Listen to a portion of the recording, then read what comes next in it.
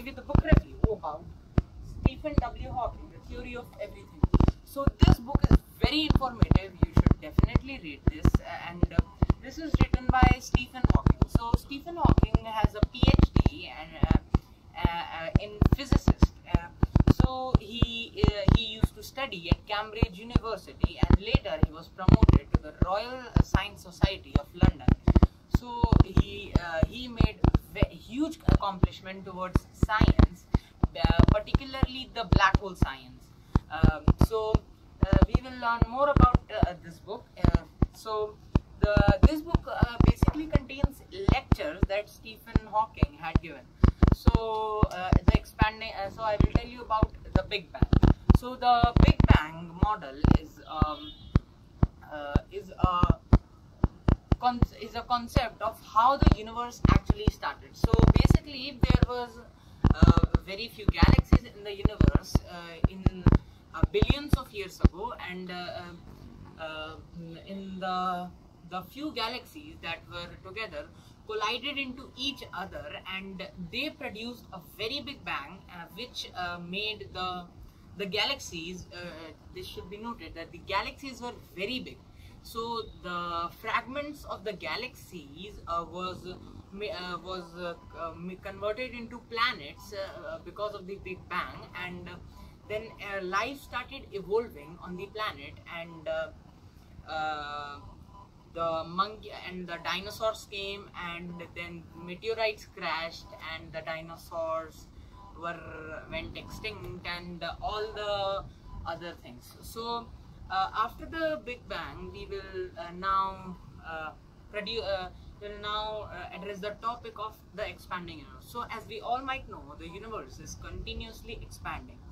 We can take uh, uh, an experiment as uh, a balloon which has which is deflated and uh, it has uh, dots on uh, it. So, uh, when the balloon is deflated, we will notice that the uh, dots on it are very close to each other whereas as we soon start inflating the balloon or as we soon start blowing air into it uh, the balloon will uh, expand or uh, increase in size and the dots will move farther from each other.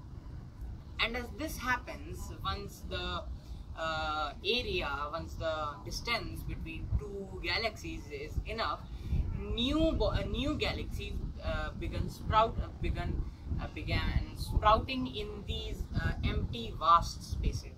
So uh, as we all might know uh, a galaxy is a spiral and uh, uh, etc so as we uh, so stars. So stars they are basically huge hydrogen glass orb huge hydrogen orbs.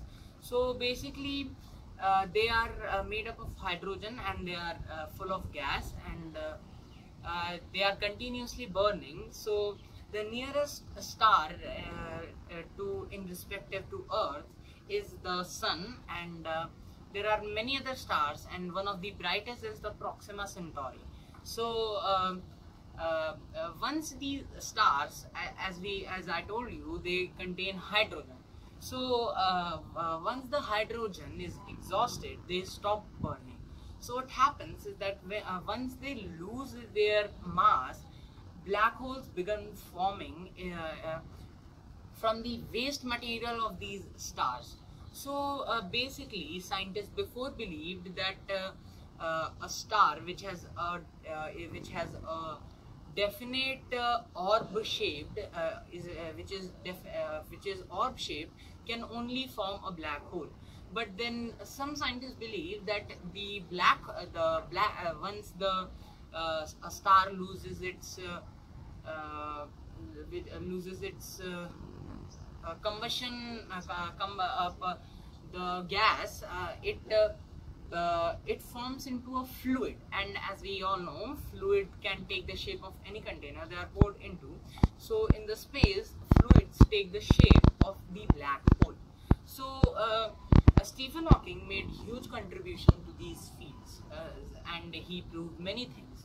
So uh, one of the uh, main scientists was Subramaniam Chandrasekhar. So uh, Subramaniam Chandrasekhar way back in 1914, he uh, he came from India to England uh, to study with the uh, professors about the cosmology about cosmology. So as he as he on the, in the when he was on the ship, he began formulating a theory that uh, there are black holes and uh, the black holes have definite uh, shape and they have huge amount of gravity and other things but uh, uh, in those times uh, the uh, people believed that uh, the black holes was solid and uh, that it did not have much gravity.